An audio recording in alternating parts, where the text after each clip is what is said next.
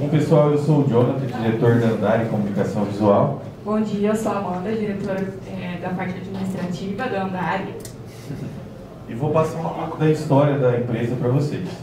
A nossa empresa ela está há 21 anos no mercado, 15 anos com a atual gestão, eu e a Amanda, e estamos no mercado buscando o aprimoramento, se preparando para atender todos os clientes de uma maneira mais assertiva.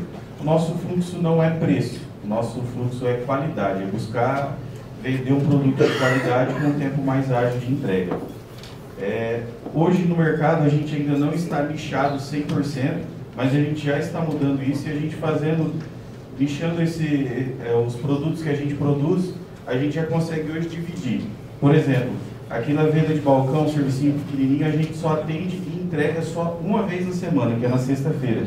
Então isso a gente vai juntando todo o serviço entregando lá na finaleira daí, que não atrapalha o fluxo de produção. A gente já deixa exclusivo para essa execução ali, para atender nossos clientes, porque nossa cidade é uma cidade pequena, de 30 mil habitantes, então a gente acaba atendendo clientes de, de vários projetos. Bom, eu vou falar um pouquinho sobre a nossa história. É, a empresa ela foi fundada em 2002 com o antigo proprietário e tinha apenas uma máquina de recorte de 30 centímetros. Alguns já devem ter conhecido ela. É, em 2006 ele adquiriu uma máquina um pouquinho maior, de um metro, só que ainda continuava ali fazendo aquelas emendas, aquela coisa toda que era mais mão de obra do que realmente o trabalho. Em 2008 é, a gente assumiu com a atual gestão, bem simples, a gente vendia painel, não tinha um painel. Aí em 2009 a gente já começou a aprimorar, né, buscar maquinários. Compramos a, a máquina de 1,22m, 2010 a gente já adquiriu uma plotter de impressão, que foi a primeira da nossa região. Em 2012 a gente já ampliou um pouquinho a, nossa instalação ali. Em 2013 a gente já adquiriu uma máquina um pouquinho melhor, MAC, um corte integrado. Em 2020 a gente já conseguiu adquirir uma Hauser e uma laser e iniciou a construção do nosso, da nossa sede, nossa futura sede, na verdade, né? Que hoje está no nosso setor produtivo. Em 2021, a gente é, começou a segunda etapa da construção, a gente dividiu em três, na verdade, né? Como que era bem difícil, bem grande e o custo era muito alto. A gente fez a parte do fundo, que é a parte mais bruta, operacional. É, a segunda etapa, que seria a parte limpa, impressão, colagem. E agora falta a terceira etapa, que é a parte comercial. Em 2022 a gente adquiriu uma nova máquina de impressão com mais rapidez, né, que a gente estava precisando. Em 2022 também a gente iniciou a consultoria, que mudou nossa vida. Em 2023 a gente finalizou a segunda etapa da construção e iniciou a reestruturação do layout organizacional, que é onde a gente mudou toda a nossa parte produtiva para essa nova sede. Em breve, que a nossa meta 2024 é a gente finalizar a obra e mudar daí todo o setor comercial, a empresa toda, para o novo, novo local. Bom, hoje a nossa estrutura está dividida.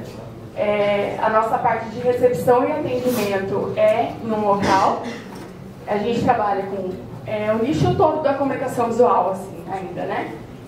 Então é adesivo, fachada, todo, banner, no geral. E a gente também trabalha com alguns produtos personalizados.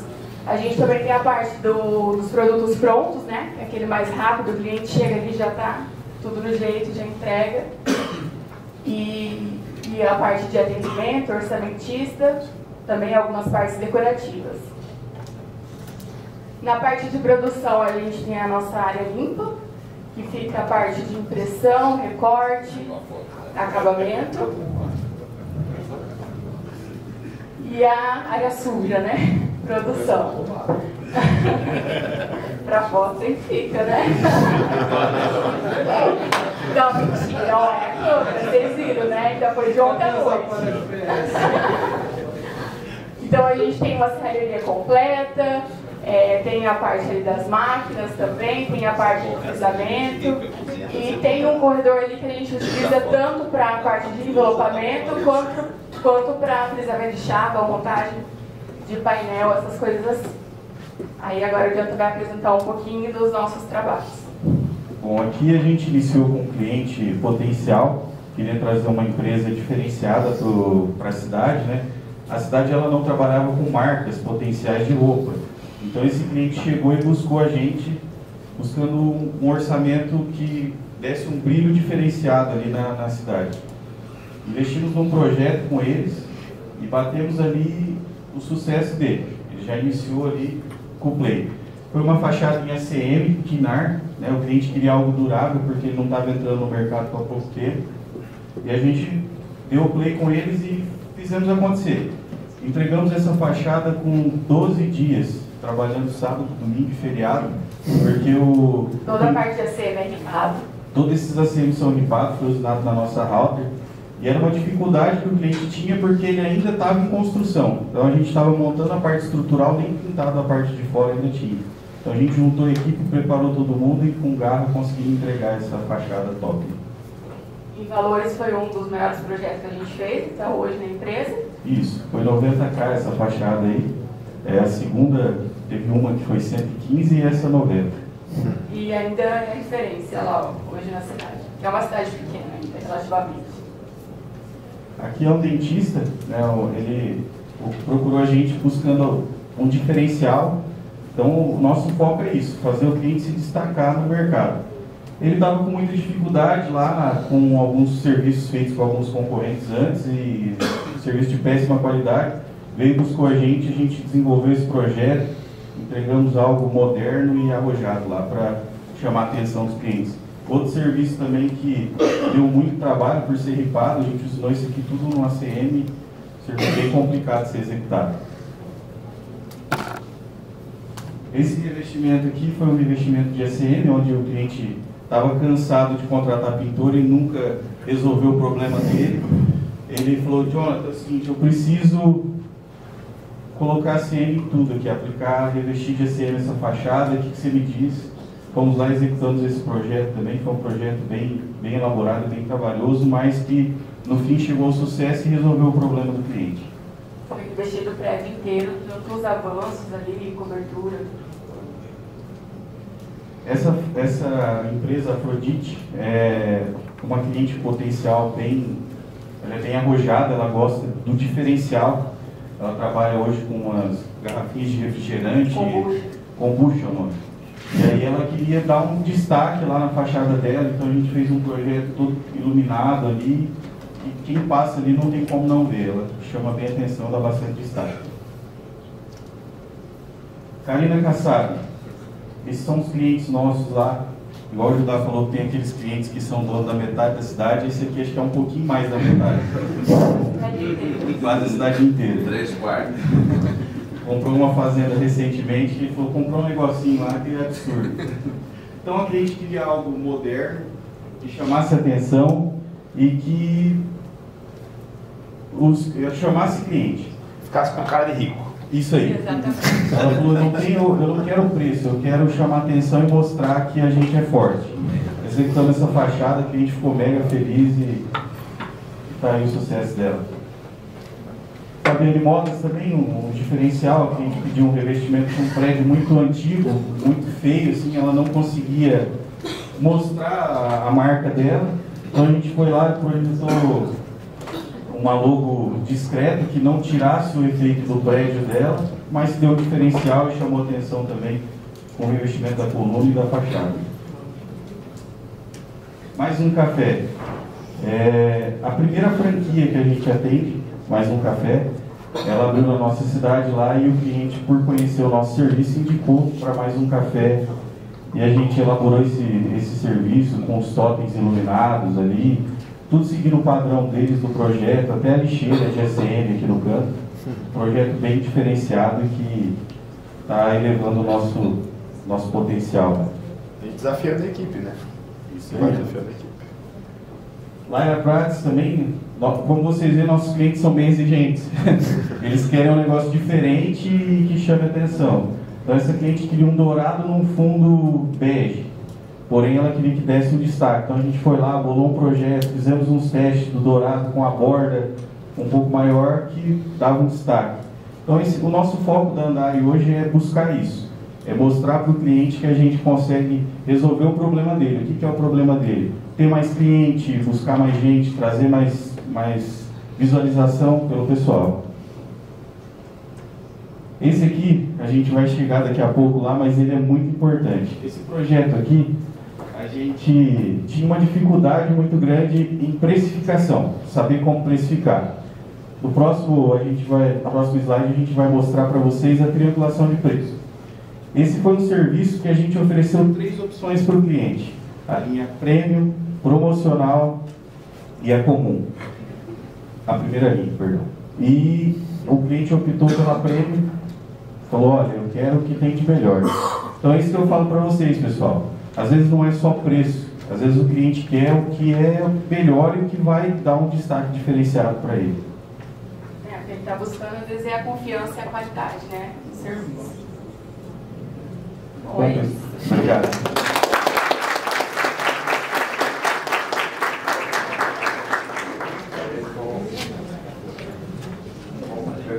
é Obrigado. Oi? Pode manter, pega só de mão. Vou convidar agora o pessoal também, que é daqui de São Paulo, mas de Osasco. Eles são, na verdade, do Biratã, não são também de São Paulo, né?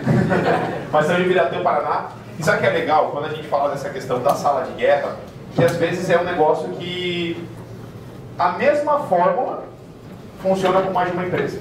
E eu tenho certeza absoluta que se vocês implantassem isso na empresa de vocês, ia mudar completamente o jogo. Então, convidar o pessoal da Novo Conceito, que é de Osasco, São Paulo, para vir aqui contar um pouco, um resumo da empresa para vocês e a gente falar sobre essa tal sala de guerra.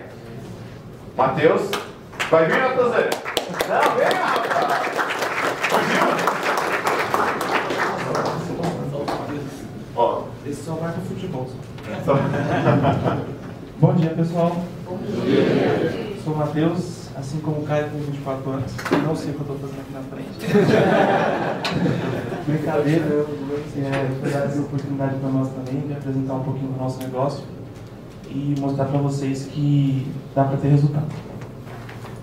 Então, falando um pouquinho do novo conceito, né? A gente tem 10 anos de novo conceito, mas de mercado de comunicação visual a gente tem 25 anos de experiência e nossa missão, como a maioria de vocês, é transformar ideias em realidade. Aqui é o nosso time. Aqui tem o Ciro, que é o Natan, meu tio, que é o mais velho. O senhor Antônio, que a gente fala que é o nosso presidente. Hoje ele fugiu de lá, trabalhou com nós até agora 2020, antes da pandemia. Está morando numa cidade interior agora descansando, mas até então ajudava a gente lá. Então a gente tem três gerações dentro da empresa. Natan, meu pai, tudo bem? Parece que eu sou o pai dele, mas é. É porque eu preciso melhorar a minha imagem. E ali eu, ainda novo, comecei com 12 anos, veio do Caio também. Na comunicação visual, comecei furando peça na furadeira de bancada, colocando dupla face arrancando parafuso no chão.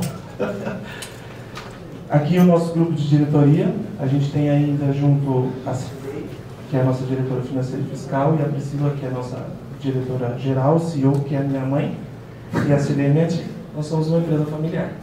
Mais alguém aqui tem empresa familiar? Questão de empresa familiar. Joga merda no ventilador. Senão você nunca vai resolver. Aqui a gente vai falar de um case só, que é o nosso case principal hoje. Já vai fazer seis anos que nós estamos atendendo lá Porto Seguro. A gente entrou lá também fazendo um adesivinho, fazendo uma manutenção. E hoje a gente atende toda a parte de centro automotivo deles e também de sucursais, que são as lojas onde eles deixam os corretores. Junto da Porto, a gente tem um case também com a HDI, que foi a, a empresa que começou a novo conceito, então a HDI Seguros e a Porto Seguros seriam os nossos dois principais clientes. E a gente atende também o nicho de hospitais e clínicas. Então hoje a gente trabalha com um contrato com o Sírio Libanês, e também é, o Grupo Pardini, que agora virou o Grupo Theory, e também já atendemos a rede do Gaza. Aqui tem essa foto da Porto, trabalho bem emblemático, foi um dos maiores trabalhos que a gente fez para a Porto. A gente fechou em duas etapas, foi uma etapa em dezembro, aprovou no dia 1 de entrega antes do Natal, né? todo mundo conhece essa, esse prazo. Né? E aí depois, em janeiro, deu continuidade, fizemos a primeira parte interna, depois externa da loja, fizemos uma luminária do tamanho do carro, um pouquinho maior, porque o cara tinha que entregar o carro embaixo do carro. então, aqui também alguns cases que a gente fez deles, é, painéis sites, instagramável. É, esse é o totem dessa loja, o Carro Fácil, a primeira loja de seminovos da Porto Seguro, né? É, além de seminovos e assinatura. Ali é a parte mais institucional da Porto, que a gente atende não só a parte dos centros automotivos e estruturais, mas também toda a parte de matriz, né? A Porto está ali, tem quase metade, está aqui do lado, na verdade, né? Lá funda ali na Ribeiro da Silva, Campos Elíseos. Então, metade de Campos Elíseos é Porto Seguro. então o instalador aqui, ó, ele, ele já passou em todos os prédios, ele sabe falar melhor. Aqui a gente separou um vídeo, não sei se vai dar, vai dar tempo para eu mostrar um vídeo. Do, Acho que no PDF vídeo. Tem algumas fotos da empresa, a gente não conseguiu pegar uns nuances tão melhores para apresentar. Que dá para separar. Dá para separar? Dá para separar.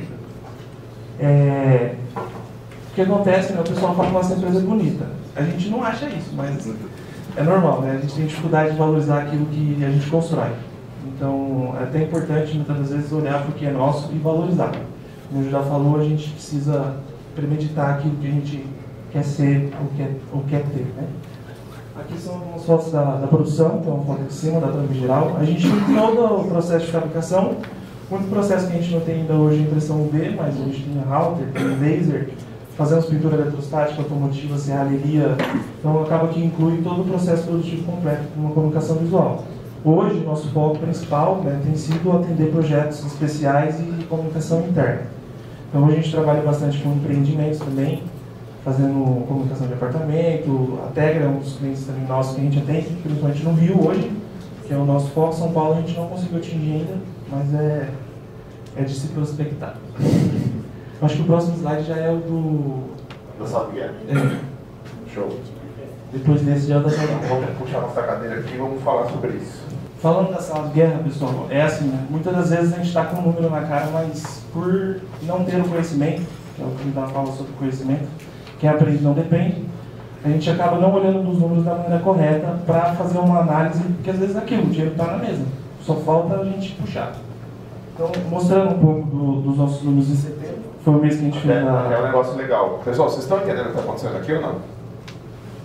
Vocês estão entendendo que alguém que fatura, às vezes até mais do que você, está aqui abrindo os números da empresa deles para de alguma forma mostrar o que deu certo para eles? Vocês estão conseguindo entender isso? É que às vezes a gente precisa deixar claro, entende? Porque assim, ó, não é comum isso daqui não, cara.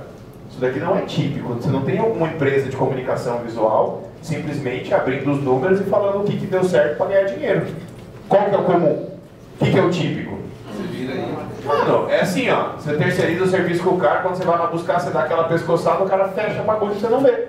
Esse é o normal, esse é o típico, entendeu? Então isso daqui que a gente criou, que a AFCON criou, que eu puxo a cara tapa aqui, é diferenciado. Então assim, parabéns por vocês se propor também trazer aqui e abrir os números de vocês. Entendeu? Então, continuando aqui, setembro acho que foi o primeiro mês que a gente estava na consultoria, né? Começou acho que foi em agosto a visita, em setembro a gente estava no primeiro mês.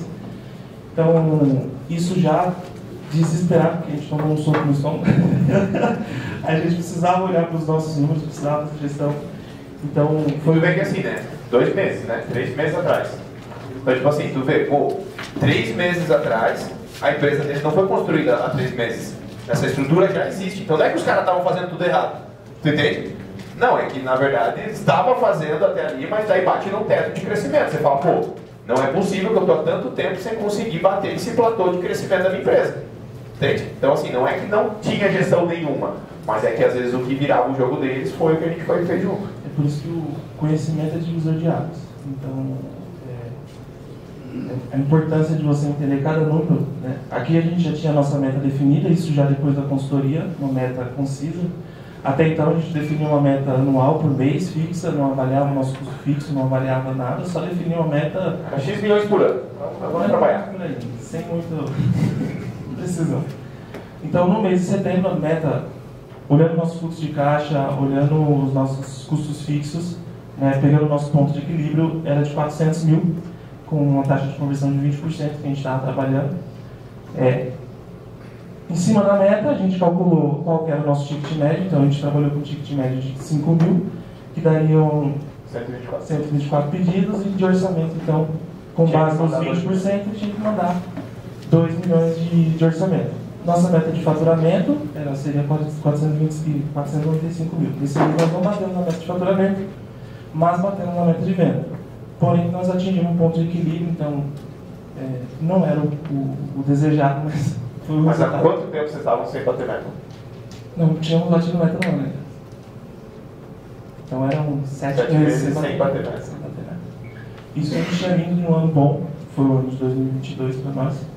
A gente bateu meta, dobrou a meta, uns meses mais aquilo, sem gestão, sem conhecimento. Então, não adianta dobrar a meta, não adianta vender também, se eu não saber aonde está indo direito o dinheiro, para quem que está indo. Então, por mais que a gente bateu, a gente dobrou a meta em três meses do ano, vendendo mais de 600 mil. É, só que não tinha conhecimento do que fazer com o dinheiro, de onde deixar, como fazer. Então, é importante saber lidar com o dinheiro. Aqui, o acompanhamento da meta, que a gente acaba acompanhando agora semanal, e agora nós estamos acompanhando diário, né? Até pelos painéis de gestão de que a gente está utilizando, então diariamente a gente tem que estar preenchendo o painel. Primeira semana de setembro teve feriado. Feriado é uma desgraça para o comerciante. Eu estou começando a ficar de feriado. Porque diminui demais nosso- os nossos dias úteis e atrapalha bastante. Então, na primeira semana, não vendemos nada. Foi uma semana de feriado, acho que teve um ou dois dias úteis. Na segunda semana, foi a semana que a gente conseguiu converter bastante venda.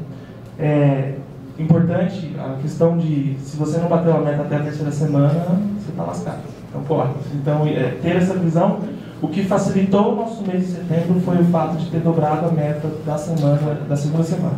E aí a, a terceira semana continuou suave, mas na quarta a gente conseguiu reverter também depois da sala de guerra, que é aquilo, às vezes um puxão, liga com o cliente, fala, puxa. Inclusive, foi uma coisa que eu nunca tinha feito com o Aporto, porque é, o que acontece? A gente entra no modo automático. Na Porto, a gente fala com pelo menos 25, eu falo com 25 pessoas na Porto. Então são 25 pessoas fazendo solicitações diferentes, de áreas diferentes, de materiais diferentes. Então, só que nunca peguei para pegar e puxar um deles e falar, e esse orçamento? Vamos fazer? Parece tão óbvio, né? O cara, você tem a empresa há X anos, ele compra de você todo mês. Aí eu falei assim, quantas vezes vocês já ligaram para Porto? Quantas vezes você já ligou para os caras que tem orçamento em aberto da Porto? Daí tipo assim, nossa, mas então não quer dizer que eles só fecham quando eles querem, eles também precisam do follow-up. Eles precisam do puxão. Então, se eu não me engano, nesse mês a gente fechou é, 17 lojas da, da, do, do, dos centros automotivos. Isso porque eu tinha mandado os orçamentos, beleza, eu só mandava. E aí eu decidi mandar um e-mail para cada. Tem um retorno?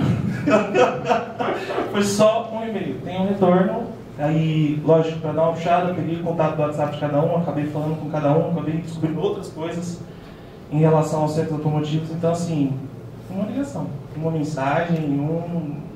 Obviamente, se você fizer isso da melhor maneira, utilizando um script, pensando na melhor maneira de perguntar, pensando no gatilho, o resultado é mais efetivo.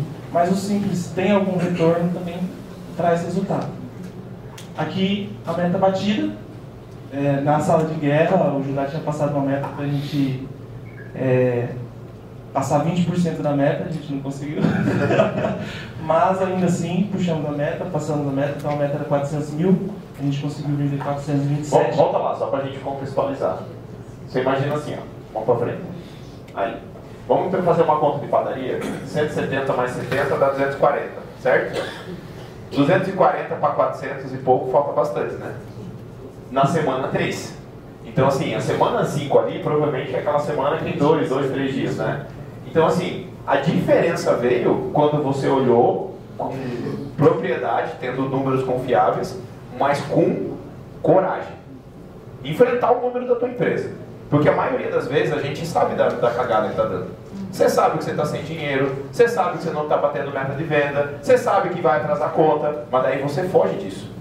É mais fácil baixar a cabeça e mexer com arquivo, é baixar a cabeça e ir para produção. Você vai, vai lá na produção, começa a andar lá, caçar problema que você se sente mais confortável de resolver. Em vez de olhar para ver verdade do teu negócio.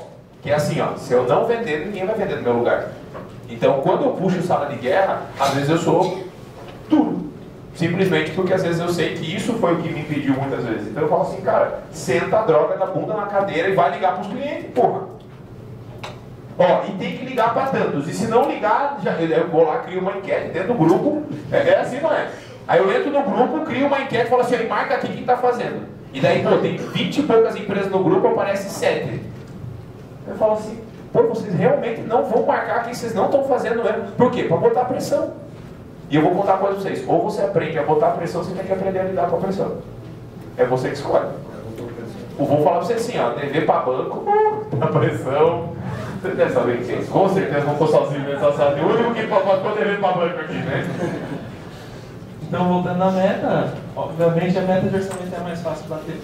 A gente supera essa daí, o orçamentista ali. Batemos a meta de venda, não atingimos a nossa taxa de conversão, então orçamos mais, mas não vendemos o tanto. Até por isso, a gente pode enxergar o porquê de não ter batido às vezes a meta de faturamento. Porque até o nosso fluxo comercial não é sempre positivo, tem algumas nuances, né? nuances mas é, a gente consegue fechar bastante serviço sem ser faturado. É só pagamento à vista ou pagamento com sinal alto e o restante no final da instalação, mas também não prolongado esse faturamento. Esse é, um, é nosso, a gente acaba trabalhando com 50-50, 14 DL. Esse é, é o principal forma de pagamento que a gente utiliza. Então, se a gente tivesse talvez convertido os 4% que faltaram ali, eu estaria com a meta de faturamento batido. Então, isso, o que é importante a gente enxergar nisso é clareza.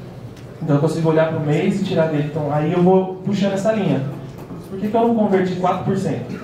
Então, o, o, onde foi o gargalo? Onde foi o gargalo? Até foi uma conversa que a gente teve com o Judá, que a gente puxou ele no mês passado. E aí foi o quê? A nossa. Considerando a Porto Seguro, que é até uma coisa que eu, eu, eu gostaria de trazer para vocês é legal ter um cliente grande, legal ter um cliente que está lá todo dia, beleza. Só que assim, eu não posso confiar nele.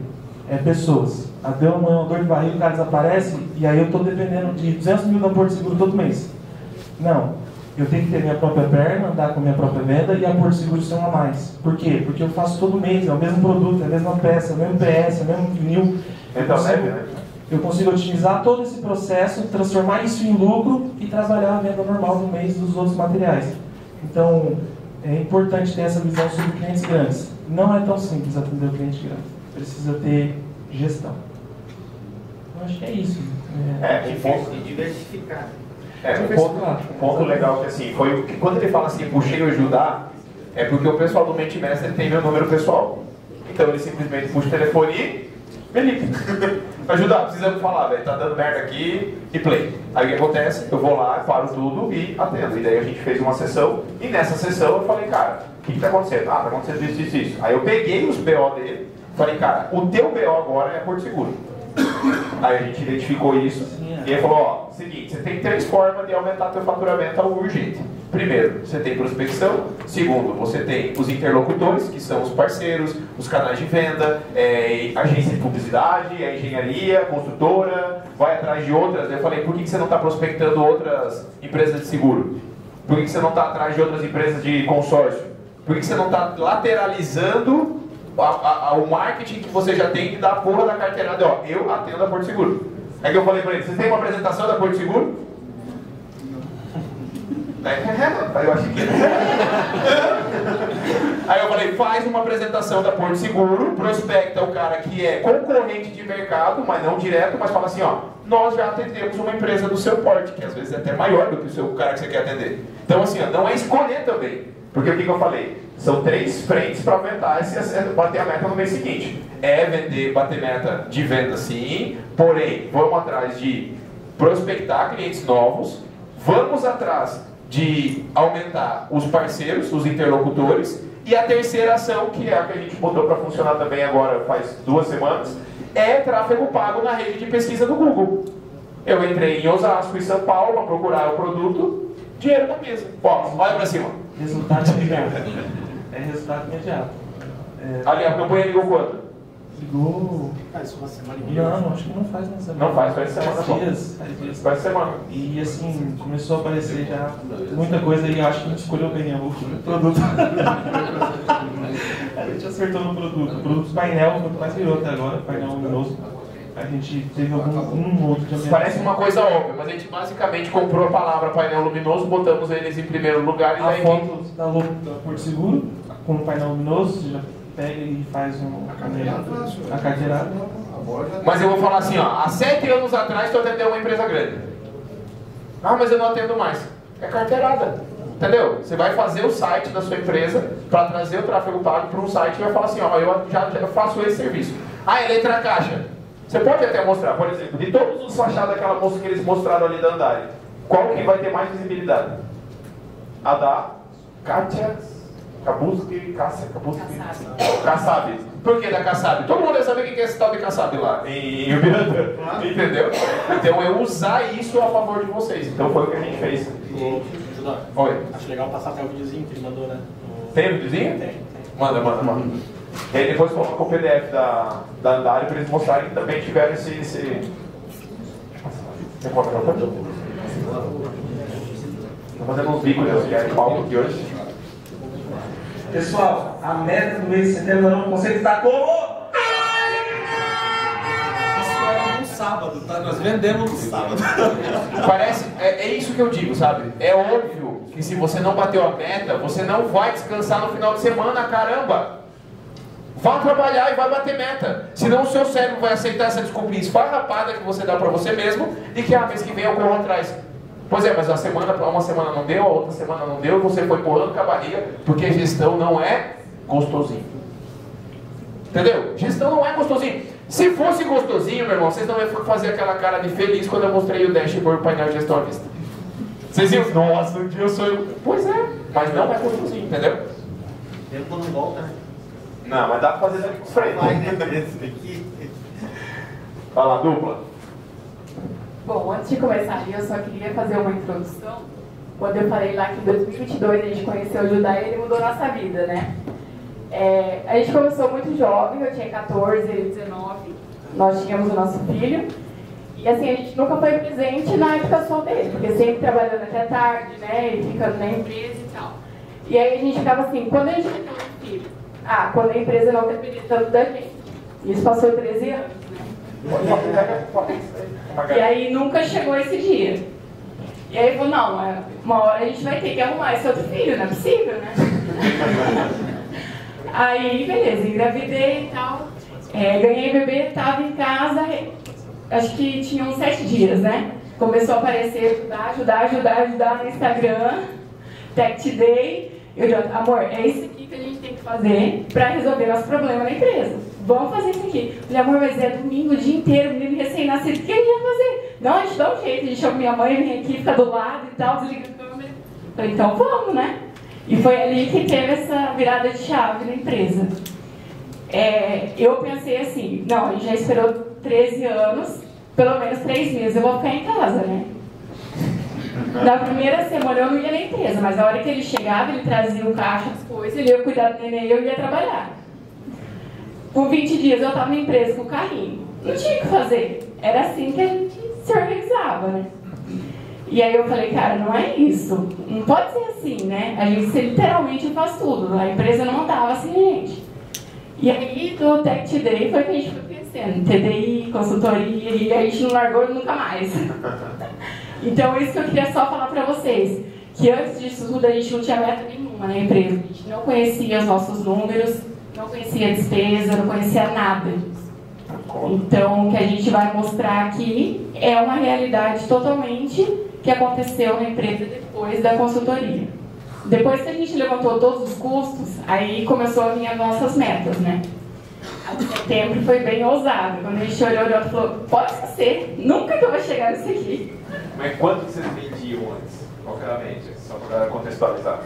Ah, geralmente 120, 150, mas a gente nem olhava para isso.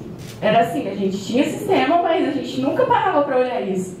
Sabe, a gente realmente trabalhava, ah, eu acho que tá dando lucro, porque tá, a gente tá investindo, tá comprando máquina, tá. Então acho que tá tudo certo, né? E aí veio essa meta, setembro, 219. Meu Deus, o que a gente vai fazer, né? a Vamos gente está lá. falando de quase 30%. Por quê? Quando a gente começou a fazer o processo da consultoria, a primeira coisa é dados. Lembra? Eu falei? Em Deus nós acreditamos e confiamos. Os demais me tragam dados. Então a gente foi lá, separou o que eles já tinham investido, que tinha de parcela por mês. Né? Quem tem o Pronampizinho? Levanta a mão. né? Então a gente separou todos os investimentos da empresa e falamos assim, ó, seguinte, isso daqui que tem de investimento, a gente vai pagar com lucro. A gente não vai pagar como parte do, do custo fixo da empresa, não é. E a gente estabeleceu uma meta de lucro. Para atingir esse lucro com base no histórico que eles já tinham de percentual na operação de 150 mil, a gente falou, ó, a gente vai precisar vender X para receber X, para poder sobrar X para pagar a, a, parte do investimento. E aí foi onde surgiu de fato os 219 mil. Então não é bem assim no aleatório. Aqueles sete passos para imprimir dinheiro é você saber o porquê que você está colocando essa meta. Então eles sabiam o porquê da meta. Eles ignorarem isso era a responsabilidade total deles. Entendeu? Bom, semana 1. Um, é, a gente tirou 28.111 de ordem de serviço 79 pedidos. Relativamente, assim, nosso ticket médio, oh, ticket médio é baixo, né? É uma coisa que a gente está buscando aumentar. Aí a gente estava lá em 13% para atingir a meta. Já começou a dar aquele frio na barriga, né? Não vai chegar. Porque já tinha que ser 25, entendeu? Não tem como você ignorar isso aqui. É 4 semanas, é 100% dividido em 4 é 25. Você bateu 13, você está atrás da meta, tá correndo atrás dela, entendeu? Semana 2. A gente vendeu 31.091, mais 61 pedidos. Venda total, 59 mil, 27%. Era o que tinha que ter atingido na semana 1. semana 3, 51.570, mais 72 pedidos. Chegou nos 50% da semana 3. Venda total, 110. Então faltava 110. Então aí a gente entrou naquele desespero. Puxei o telefone e falei, ah, ajuda, você vai ter que dar um jeito. Você me vendeu esse negócio, agora você me deu ajuda a pagar esse trem aqui. Falei, ó, oh, o negócio é o seguinte, nós estamos fritos aqui. 50% esse mês eu acho que nós não vamos chegar nem nos 150 e estamos fritos. E aí o cenário começou a mudar, ajudar já foi passando passo a passo, ó, vamos fazer isso, vamos buscar isso. Né, como vocês podem ver ali, né? Faltando cinco, dia, cinco dias úteis, a gente ainda faltava 50% da meta. Então a gente começou naquela briga e. Calma e paz, né? E vai, chamamos o nosso time comercial, a Mayara e Alice, senta aqui do meu lado, vamos dar uma revisada nesses orçamentos e olhamos, vamos buscando aqui atrás serviços de seis meses que foi orçado para os clientes, tudo ideia do nosso mentor ajudar, né? E fomos buscando e entrando em contato com o pessoal e mandando mensagem. E eu falei, e assim, de coração, eu falei, Jonathan, é o seguinte, você vai sentar do lado do comercial velho. Entendeu? Você é o cara que vai bater o olho e falar, vamos ligar para esse em vez desse. Então lista seis meses, velho. Porque às vezes aquele orçamento ficou em aberto, mas o cara sempre fala, né? Ah, eu tenho mais alguma coisa para fazer. Então é mais ou menos sobre isso. É, às vezes o óbvio precisa ser dito e alguém ali acompanhando nesse direcionamento. Aí a gente começou a utilizar várias técnicas, né? Triangulação de preço, que é oferecer as três versões no, no orçamento para o cliente. Então, o que, que, a gente fez? Nosso foco maior é a CM. Né? Então, a gente desenvolveu, junto com a equipe né, do, do Judá, três produtos. Né? O ACM comum, o primeira linha e o prêmio. As diferenças deles são acabamentos. Então, o que, que a gente conseguiu fazer com isso? A gente já mandava, o que, que é o nosso problema lá, era o nosso problema, né? A gente mandava o orçamento para o cliente e sempre, por a nossa empresa ser a mais antiga, o primeiro orçamento era o nosso. Então o cliente mandava, já ia para outro, daí outro. E cotava com vocês primeiro já por ser ter mais conhecimento na, ter mais conhecimento na cidade. Né? Cotava primeiro com a gente, depois passava isso e daí às vezes lá no meio do caminho o cara jogava um preço mais barato e levava. Então o que, que a gente fez? Com a triangulação de preço, o cliente já fica com aquela dúvida na cabeça. Ele não sabe, será que eu vou fechar com aquele? Mas ele não me ofereceu nada, ele só mandou um orçamento, não, não, me deu um, um follow-up, não, não fez nada. Só a gente buscou com essas três linhas de orçamento. Faz dois meses? Já fechamos três vendas na linha prêmio. Literalmente cobrando mais caro de um produto melhor. É óbvio isso quando você faz. A triangulação de preço é literalmente até dar o um nome. Eu ensino uma coisa, a gente fez em sala de guerra agora, eu ensinei a técnica do dividir pelo, pela durabilidade média estimada. O que, que eu falei? Eu falei, você vai pegar assim, linha premium, primeira linha e linha promocional. Dentro das três linhas, você tem que dar durabilidade média estimada. Porque daí você vai pegar o valor e vai dividir pela durabilidade média estimada daquilo em cada item. Isso vai fazer com que o teu cliente fale assim, caramba, quando eu divido por investimento a mês, esse mais caro está muito mais barato. Porque vai durar muito mais tempo. É óbvio, é, mas ninguém foi lá e explicou, explicitou para o cliente. Então, assim, essa triangulação a gente faz lá com junta de dilatação, que são detalhes básicos, porém, que o custo não eleva muito para a gente e a gente tem uma margem maior de lucro. Aí a gente revisou também todos os orçamentos em aberto, entrou em contato com os clientes, né? Perguntou se já tinha fechado ou não. Quando fala não, aí, nossa, né?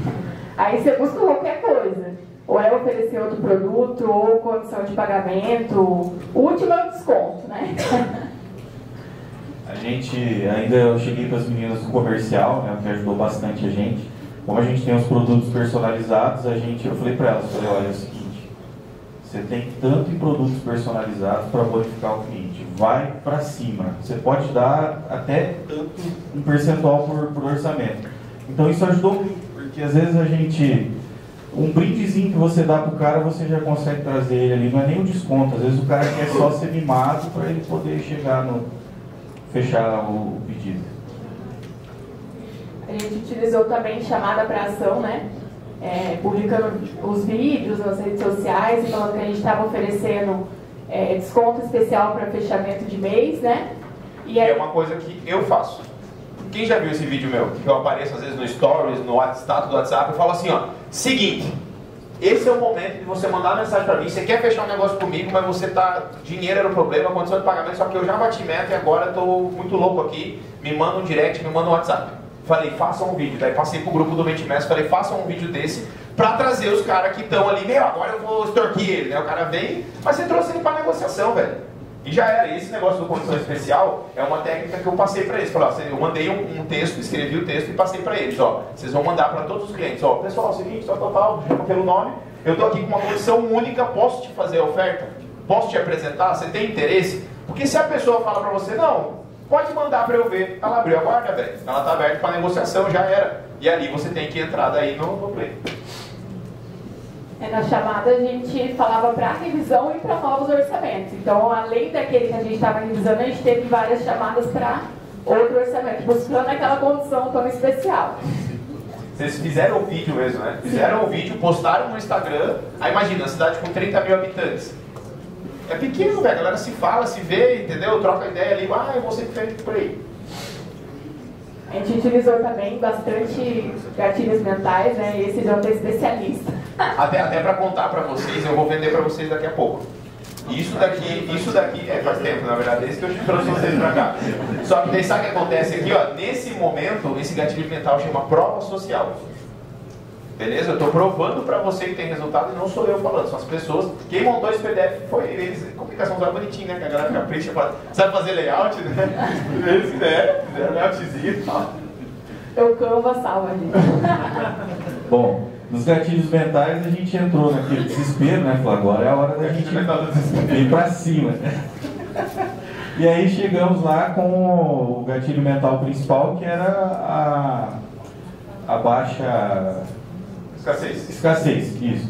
Então, o que, que a gente chegava para o cliente? Olha, é o seguinte, nós estamos fechando uma demanda muito grande, um serviço muito grande, e para mim conseguir entregar isso no prazo para vocês, eu preciso que você feche até no máximo hoje até 18 horas, porque eu preciso passar uma data para esse cliente e se você não fechar comigo, infelizmente eu não vou conseguir te atender.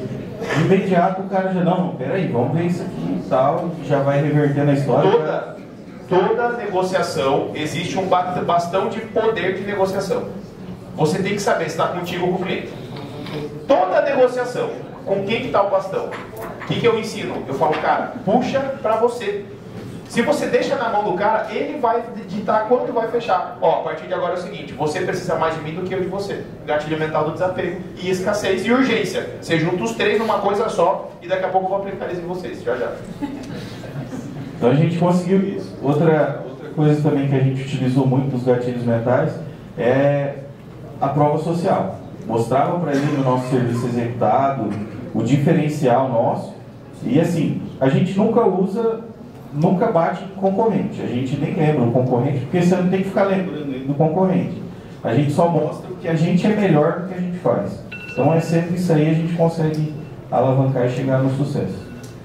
Questão da urgência também, né? A gente sempre fala, olha, é, para a gente fazer, para manter esse valor, só se fechar até tal hora, porque está fechando a carga, senão semana que vem já é outro valor. Então isso também tem ajudado bastante, é o da urgência. Teve um, uma venda que eu fechei mês passado de 45 mil. E aí foi assim, eu liguei pro, pro cliente e falei para ele, falei, olha, estou fechando uma carga grande, eu consegui um desconto aqui de 2 mil reais, só que eu preciso que você feche comigo até 3 horas da tarde, era 2 horas.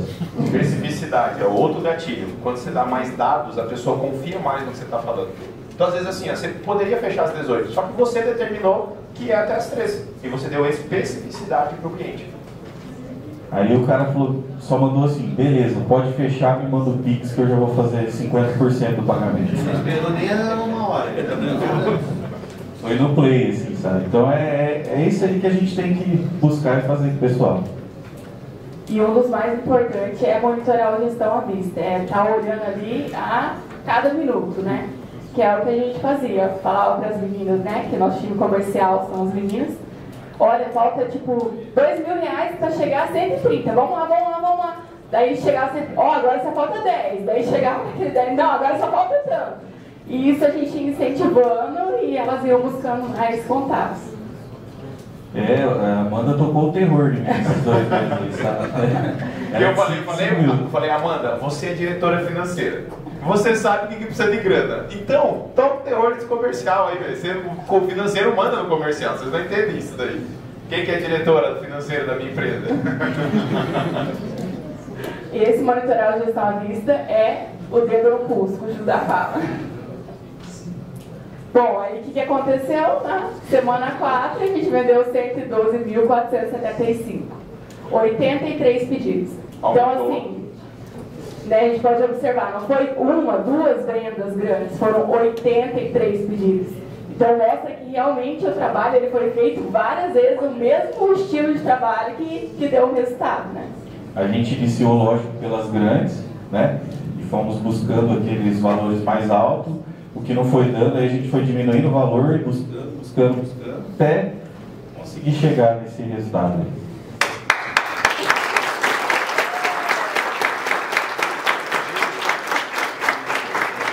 Chegou no final ali, a gente bateu 223, 4.159 acima da média. Nos últimos 5 dias, vendendo 22 mil por dia. 16 pedidos por dia. E a primeira, volta lá, a primeira segunda foi quanto, né?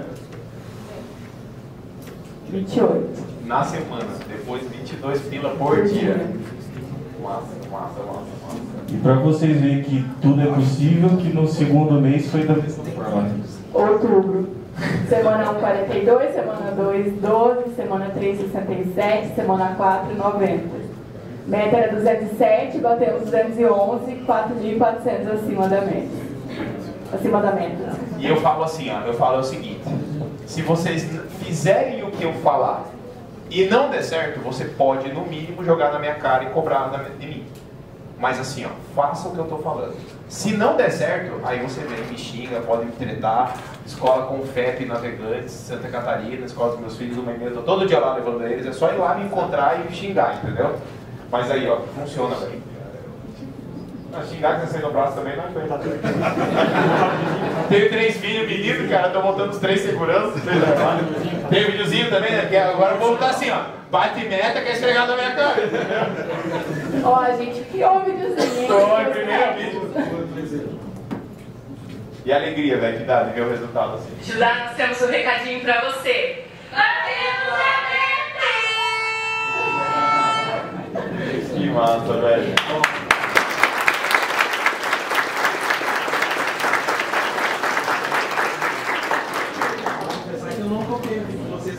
Comprado no Venda antes? Já estava previsto também a gente fazer a mesma bagunça. Um ponto que eu queria é, ressaltar é que nós não batemos na meta de novembro, mas é a importância do follow-up. Tem um cliente nosso que a gente fechou agora, que é o Web Carapicuíba, com um pedido de 42 mil, né? 42 mil. O cara já tinha fechado com outro fornecedor. Mesmo assim, a gente mandou o follow-up para ele. Que aconteceu? Esse fornecedor é um, é um hospital, né? O hospital tem exigências. A o gente, cliente hospital. O cliente hospital. Então, a gente já trabalha com o hospital. Então, a gente tem a expertise do hospital. Então, a gente tem a documentação, a gente já sabe como que se porta lá dentro. E nisso, a gente foi fazer a vistoria, vistoriamos para fazer o orçamento. Foi um investimento nosso, porque as vendas estavam baixas. A gente falou, não, vamos lá, vamos, vamos, vamos lá. E era perto de onde nós estávamos. Então, foi, fizemos orçamento, passamos um mês quase fazendo orçamento, muito complexo, muita placa, muito material, tinha coisa para reformar. E aí depois, num, num, dia que a gente fala, vamos fechar, ah, vamos fechar com outro fornecedor, vocês são muito grandes, não sei o que, fecharam com um fornecedor local menor. Só que chegou num ponto que o fornecedor não conseguia atender devido à falta de documentação, a falta. Então assim, nosso trabalho foi valorizado nesse ponto. Então a importância de tudo bem que e a gente fez redução de preço nesse, nesse caso para o cliente porque ele precisava de um custo mais baixo. Nosso custo ainda não chegou no, no custo do, do, do, fornecedor, mas a, a, nossa expertise e o fato da gente trabalhar com documentação para o hospital fez que a gente fechasse. E não só isso, a persistência em pegar um cliente que já tinha fechado com outro e ainda assim mandar um follow-up.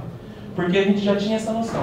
Porque ele, quando ele lançou para nós que ah, a gente fechou com outro que vocês são muito grandes. A gente falou, então, você fechou com o menor. O cliente entrega ouro, velho. O cliente entrega ouro pra você matar o pau, entendeu? Não tem.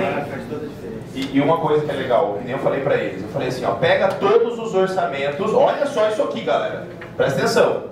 Pega todos os orçamentos que tem instalação em altura e mande uma apresentação com a documentação com os selos que você tem. De NR10, né, 35, a foto do pessoal trabalhando em altura com o EPI. É uma coisa óbvia, não é? Mas eu falei para eles, faça isso e faça esse tipo de follow-up com os clientes que têm orçamento de, de, de instalação em altura. É isso? Então, obrigado por compartilhar.